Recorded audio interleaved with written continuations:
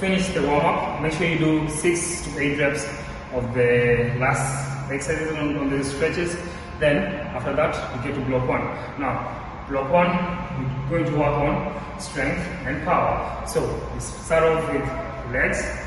So you're lunging, so you're going to be here, you then have your hands in prayer, and from here you're going to step forward, then lunge, bend both knees, hold for 8 seconds, so one, two, three, four, five, six, seven, eight. Then using this front leg, push yourself back. Then other leg, go down.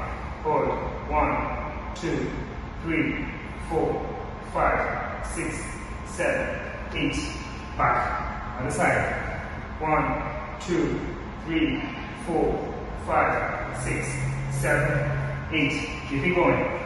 One, two, three, four, five, six, seven, eight. Good. So we're going to continue with that. Eight reps, eight reps. 16 reps total, eight on each side. Lat forward lunge with an eight second pause.